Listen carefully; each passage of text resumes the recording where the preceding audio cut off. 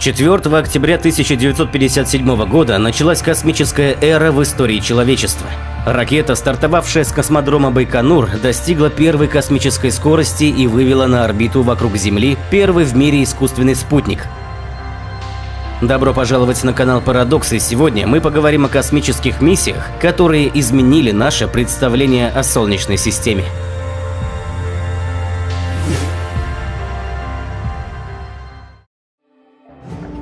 Луна-9.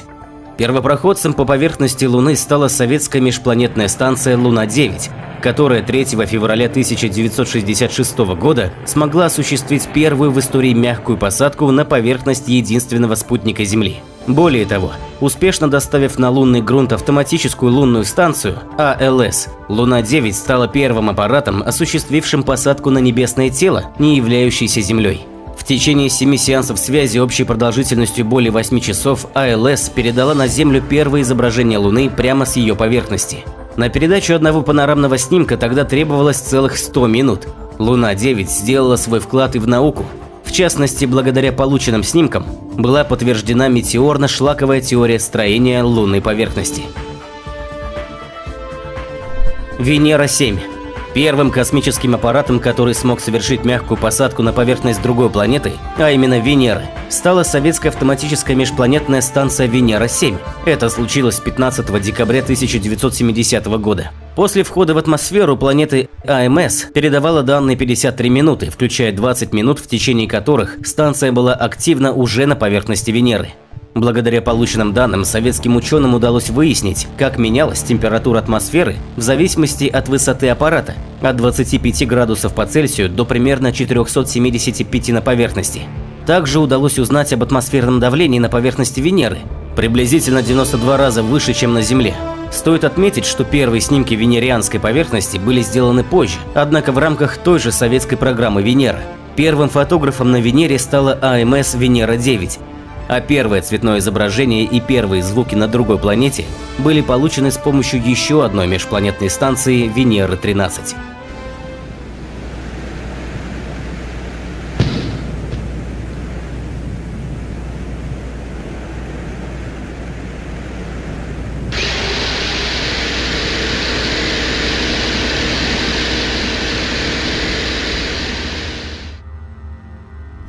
Программа «Викинг» В 1975 году в рамках программы «Викинг» США с небольшим интервалом отправили к Марсу два аппарата. «Викинг-1», как и «Викинг-2», состоял из орбитального испускаемого модулей. Посадочные аппараты имели широкий набор научных инструментов для исследования марсианской почвы и атмосферы, который должен был позволить «Викингам» ответить на один из самых главных вопросов – есть ли жизнь на Марсе? 20 июля 1976 года «Викинг-1» стал первым в истории космическим аппаратом, которому удалось совершить успешную посадку на поверхность Марса. В сентябре на Красную планету приземлился и «Викинг-2», правда не столь успешно. Его двигатели выжгли марсианский грунт, который он должен был изучать. Оба «Викинга» тут же передали на Землю завораживающие панорамы инопланетной местности, в которой очутились последние годы викинги провели множество научных экспериментов, а также передали на Землю бесчисленные снимки марсианской поверхности. В частности, был исследован состав почвы, обнаружено изобилие железа и кремния, а также наличие сульфатов. Поиски биологических образцов, впрочем, успехом так и не увенчались. Викинг-1 проработал значительно дольше запланированного и вышел из строя лишь в 1982 году, и то по ошибке сотрудника НАСА, действия которого случайно привели к потере связи с аппаратом без возможности ее восстановления. Викинг-2 проработал на поверхности Красной планеты до 1980 года. Мессенджер Меркурий традиционно занимал невысокое положение в приоритетах космических держав. За всю историю космонавтики не было ни одной посадки на его поверхность, а целенаправленно для его изучения направлялось лишь два аппарата, и оба под эгидой НАСА. Миссия второго из них – аппарата Messenger, который в марте 2011 года стал первым в истории аппаратом, вышедшим на орбиту Меркурия, оказалась особенно плодотворной. Опираясь на данные, полученные аппаратом Mariner 10 о Меркурии, Messenger в 2008-2009 годах совершил три полета мимо планеты, а затем вышел на ее орбиту. В результате исследований, проведенных мессенджером, было получено множество ценных научных данных. К примеру, тысячи качественных снимков меркурианской поверхности позволили составить подробную 3D-карту планеты.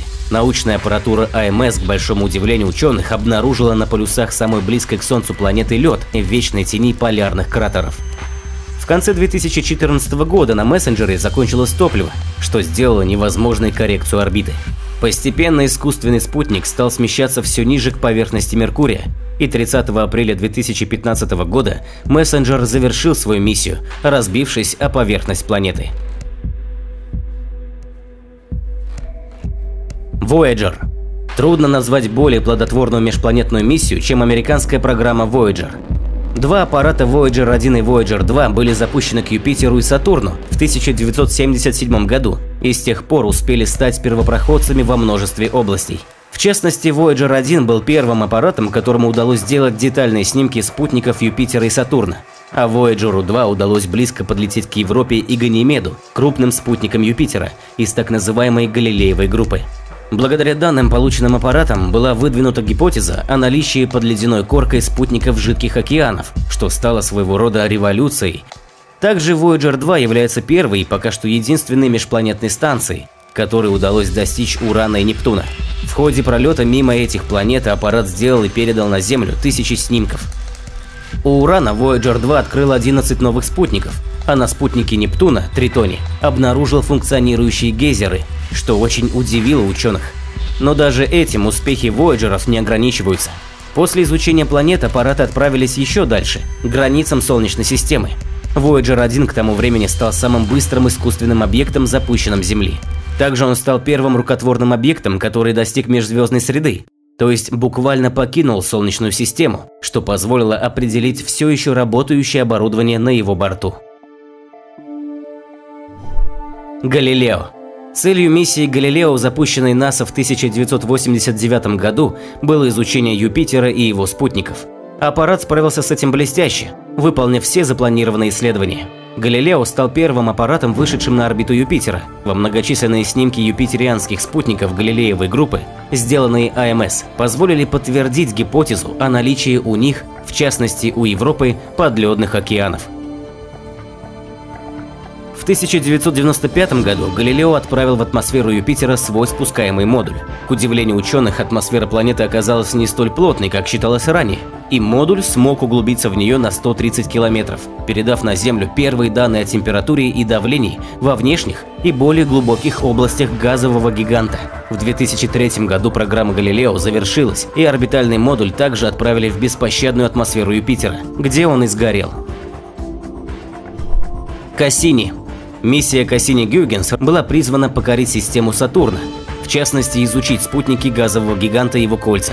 Безусловно, запущенная в 1997 году АМС справилась со всеми поставленными задачами. Орбитальный модуль станции Кассини сделал тысячи потрясающих снимков Сатурна, Юпитера и их бесчисленных спутников, очень многое рассказавших нам о внешней Солнечной системе.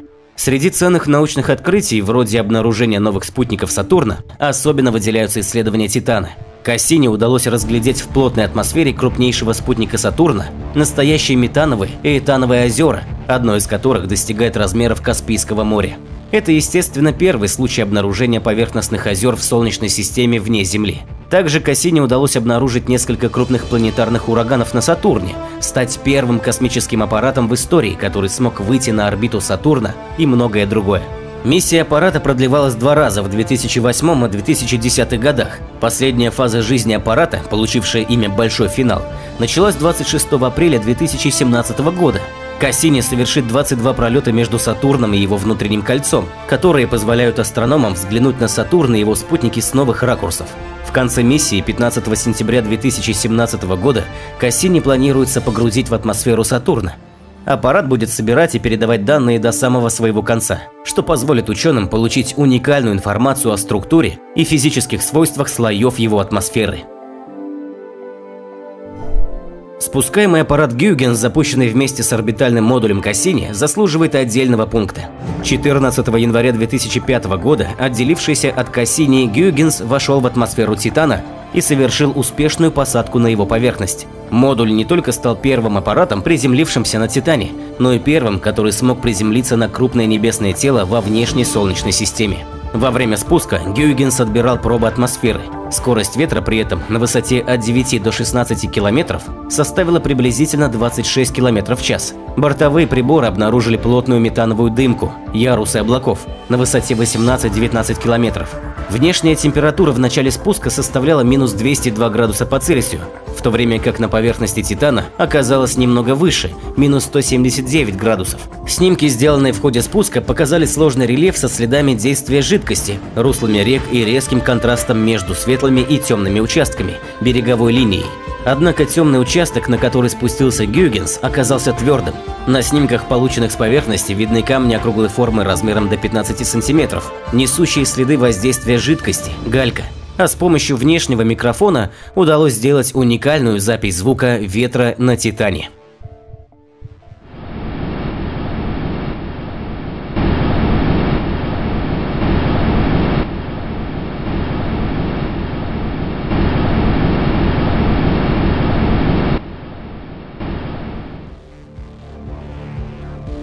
На этом все, друзья. Надеюсь, вам было интересно. Если это действительно так, не поленитесь поддержать нас лайком и сделать репост этого видео.